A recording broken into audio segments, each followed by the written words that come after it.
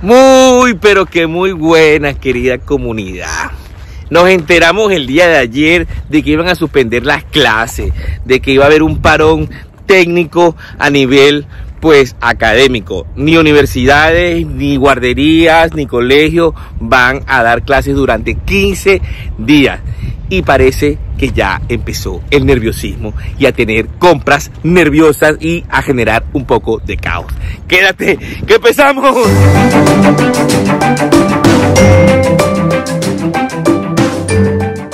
Me acerqué a varios supermercados, entre ellos, no sé si viste el video de la compra, que está por aquí arriba en las tarjetas de, los videos, en la lista de reproducciones, puedes verlo, aquí arriba están las tarjetas. Fui primero que nada pues al Mercadona, donde suelo yo hacer compra, donde suele hacer compra el 70% de la gente, porque obviamente tienen buenos precios, barato y tal. ¿Qué pasó? Pues que eso estaba hasta, bueno, hasta arriba, a reventar. Y resulta que esa gente ahí pues solo tiene cajas pues con personas, no tiene cajas de estas automatizadas donde tú te mismo te cobras y puedes pasar tú mismo la, la, compra y te pagas tú mismo, no. Ellos tienen que pasar, pues hay compras solamente que te cobra una persona, un cajero. Entonces hay unas colas y hay un peo, no hay donde aparcar, está eso hasta las metras y créeme, y no estoy en el centro, no estoy en una zona muy... Yo estoy en una zona más o menos retirada de, del centro de Madrid. Yo estoy en un barrio llamado La Peseta.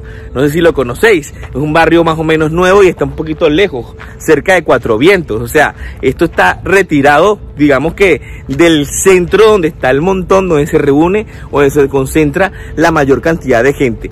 No me quiero imaginar cómo está el centro. Porque nuestros queridos amigos hasta hace nada, hasta el domingo que hubo la bendita marcha esta de la mujer, ojo, no tengo nada contra la marcha, pero tronco, si hay una pandemia ahí a puerta, así, la, la tienes aquí en la puerta, la tienes aquí, coño, suspende la marcha, ponla para otro día, coño, no sé, verga, tronco, o sea, si hay un peo sanitario, o sea, si la salud pública está por encima, eso vale más que la política. La política tienes que dejarla a un lado. No seamos chavistas. No seamos como el chavismo de mierda que, eh, o sea, predispone y antepone la política antes que el bienestar de la gente, antes que la salud, antes que todo eso. Y eso parece que es lo que está pasando. Resulta que, bueno, pasó el día, eh, ah, y el 8 de marzo, la marcha, todo y tal. Y resulta que al día siguiente, es decir, el lunes, que le están llamando ya el lunes negro, pues empiezan las medidas. Bueno, ahora vamos a tirar 15 días, todo el mundo sin clase, vamos a cerrar los colegios, vamos a hacer esto, vamos a hacer lo otro. Coño, todo el mundo se caga. Y no es para menos, rey, no es para menos. No se van a cagar si este país, casi que más de la mitad del país, es gente mayor, son abuelitos. Obviamente que Taina llega y mata a medio mundo, porque la gente joven, a ver, hay una estadística que la gente joven, por, por su resistencia, por su sistema inmunológico, pues la afectación o el daño que le produce, pues es mínimo. Las personas que se mueren es del 1% si, eres, si estás entre los 20 y los 40 y los 50 años. La gente que está en mayor grupo de riesgo son los mayores de 50, o sea, la tercera edad. O si eres muy joven, si eres muy niño pero igual, igual, si eres niño, incluso eres portador. Entonces eres, eres exportador de la vaina, entonces se lo pegas a los abuelitos se lo, y bueno, ese poco viejito muerto. A eso es que hay que tenerle miedo a la gente mayor. Y en el caso de nosotros, los extranjeros, nosotros la tenemos un poquito más cruda y más verde. ¿Por qué? Porque no tenemos el respaldo, no tenemos para dónde correr, no tenemos un coño que me voy para casa mi abuela, que me voy para casa mi tío, que me voy para casa.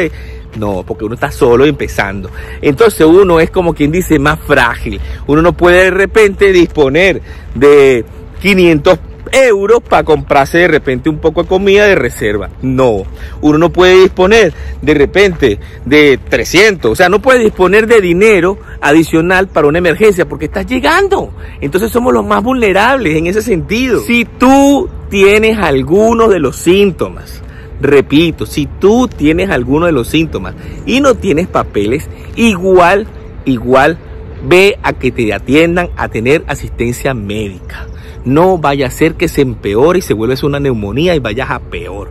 Si tienes fiebre y la fiebre no baja y continúa y tal, porque los síntomas se parecen mucho a un resfriado común, a un resfriado normal. Así que si tienes síntomas, si tienes alguna cosa rara, no dudes de ir a buscar asistencia médica.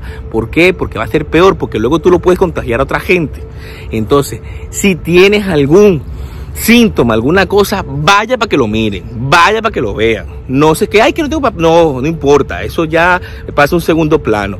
Vaya a que le miren a ver qué coño es lo que tiene, si es positivo, si no, y que lo traten y le pongan su tratamiento si es que lo tiene o no. Les voy a dejar aquí un pequeño fragmento de cómo me fue hace poco en la compra para que vean cómo está la cosa en la compra. Y para que tampoco se alarmen, pero hazte de cuenta que si esto es por aquí, por el quinto coño, porque esto es lejos, no me quiero imaginar cómo está el centro. Míralo. Hoy es martes, es decir, un día de semana normal, ¿vale? Aquí la gente suele hacer la compra, pues los fines de semana, como la mayoría de la gente, un sábado, un domingo. Pero hoy es martes. Resulta que ayer el gobierno se le ocurrió la fabulosa idea de, bueno, alarmar a todo el mundo después de haber dicho que no, que no pasaba. Y ahora, después que se le ocurrió la fabulosa y maravillosa idea de alarmar a todo el mundo, suspender las clases y todo eso, después de dejar que la concentración del 8 de marzo se pasara después que todo ese gentío salió y no pasa nada, pues ahora este es el estacionamiento, ¿vale? El estacionamiento de un supermercado que queda un poquito lejos de todo, que este supermercado suele estar solo, solo. Es más, vine para acá por eso mismo, porque esto suele estar solo. Aquí, porque hay que venir en coche y tal, y esto es solo. Ahora van a ver cómo está dentro.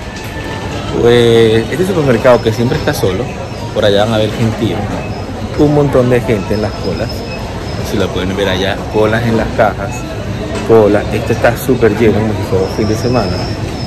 Miren allá al fondo, el gentío, algo que aquí hay, un día como hoy, un martes, a las 11 del día, aquí hay tres gatos, tres gatos, esto está. Y gente pues fin de semana, un domingo, pero martes, ¿no? Este está pues eh, no está a reventar, no está a reventar, porque realmente tampoco está a reventar, pero sí que hay bastante gente eh, para, para hacer un martes. Vamos a ir a la zona más céntrica porque esto queda un poquito lejos de todo, un poquito las afueras y vamos a ver cómo está eso. Ahora mismo voy saliendo, ¿vale? No he querido grabar dentro para no crear incomodidad porque de verdad también incomoda. Y obviamente pues yo también he comprado, obviamente. Pero ¿qué pasa? He comprado lo justo, no me he puesto a comprar que sí, 20 kilos de pollo, 20 kilos de carne, porque entonces los demás también tienen que comer. A ver, hay que ser conscientes. Recordar que hay un store, a ver, reducido. ¿Vas a comprar comida? Vale, no te vayas a llevar medio mercado tú solo, no te vayas a llevar media charcutería tú solo. Recuerda que los demás también comen. Así que si estás por ahí, en tu barrio, lo que sea, pues compra uno, dos kilitos de carne, uno, dos kilitos de pollo. No compres 25 kilos de pollo para ti solo. ¿Vale? Se llama sentido común, para que todos podamos comer. Porque obviamente está entrando pues la interna. Yo vine a comprar un poco, pero es que yo siempre compro entre semanas. Esa es la cosa, yo no compro los fines de semana porque viene todo el mundo. Yo compro entre semanas. Y está en esta hasta el culo. Espero que haya sido de utilidad este video y no generar alarma, porque esa no es la intención, no generar alarma. Si vas a hacer compras, recuerda que tú solo no estás, deja para los demás. Si vas a comprar algo, no compres todo el papel para ti, no compres todo el pollo para ti, no, compra lo proporcional para que todos se lleven un poco. No caigamos en la de Venezuela. ¿Se acuerdan los venezolanos que me están viendo? Que venía un coño de mar y se compraba todo para él. Pues no, aquí hay que tratar de ser condescendiente. Esperemos que no sea simplemente un susto y una mala gestión del gobierno y una mala gestión de los medios de comunicación. Esperemos que sea solamente eso. Hasta otro video y recuerda, siempre, siempre hay una alternativa. Revisa el canal, allí está todo. Revísalo. Aquí abajo en la descripción del canal están todas mis redes sociales, están todos mis enlaces. Hay una cuenta de Patreon por si quieres tener información adicional. Entra, allí está todo, masticadito. Hasta otro video y recuerda, yo soy Gregory y siempre, siempre hay una alternativa. Lávate las manos, ten cuidado, boca por ahí, no se lo vayas a pegar a nadie. Cuida a tu viejito. Hasta otra.